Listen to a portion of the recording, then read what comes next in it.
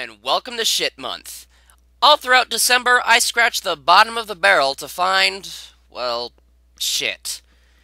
In case you haven't figured it out, I'm tackling shit spewers, poop possessors, caca consumers, dung digesters, and feces feeders. Scat fetishists. This is one of those fetishes that confuse me to no end. Who the hell would obsess over your own poo? How does that even begin? You take a dump and you just can't stand to flush it? In fact, just seeing this kind of art makes me want to puke. No joke, I really was nauseous when recording this footage. I could literally smell the shit. Anyways, today's Shartist is in a subgroup of the scat fetish species, the diaper fetish, and don't get me started on those. I'll save the rant for later. Introducing Let Me Rock, minus the C. Let Me Rock is another one of those hypocritical shartists that makes me bang my head on the wall. On his Deviant ID, he says he hates baby furs, but his brother posts them on his account anyway. Okay, three things. One, if he could get on your account, change your damn password. Two, you could have deleted his art from your gallery, you know. You can do that. And three, if he wanted to put his smut online, he could have gotten his own dang account to be teased and mocked on.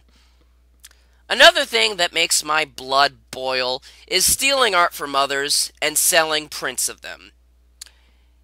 That's what he does. He takes art from others and tries to pass it off as his own. He doesn't even try to hide the watermark. But you know what makes this worse? Remember that brother of his? He doesn't exist. Let Me Rock swipe someone's art, posts it on his page, then when someone tells him he stole it, he blames it on his imaginary brother. When that doesn't work, he types empty threats at them like this. He's just as delusional as Reese or Spakers.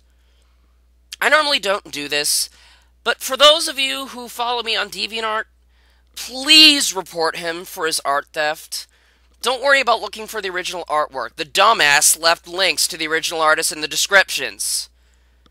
Bottom line, for the love of God, don't steal art and blame it on an imaginary sibling. Or anything imaginary. Your account will be deleted faster than you can say cucumber. Remember to like, fave, comment, and subscribe for more shardy goodness. Next time, we continue shit month with one of the biggest pariahs in the Pokemon fandom. No shit. Okay, actually, there is shit.